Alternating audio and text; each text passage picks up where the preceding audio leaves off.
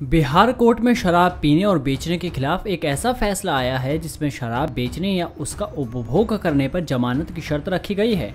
अगर आप शराब बंदी के राज्य बिहार में रहते हैं और आप शराब पीते या बेचते हुए गिरफ़्तार हुए हैं तो पटना हाई कोर्ट ने जमानत का नया नुस्खा दिया है। आपको बता दें कि कोर्ट की तरफ़ से आए आदेश में कहा गया है कि शराब बरामद होने के हिसाब से राशि जमा कराने की सहमति देने वाले अभियुक्तों को रिहा कर दिया जाएगा। लेकिन आरोपियों को ये पैसा पीएम केयर्स फंड में जमा करना होगा।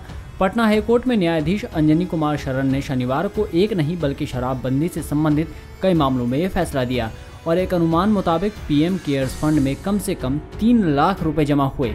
कोरोना को रोकने के लिए देश में लागू लॉकडाउन के समय शराबबंदी के मामलों में पटना हाईकोर्ट ने यह फैसला दिया है।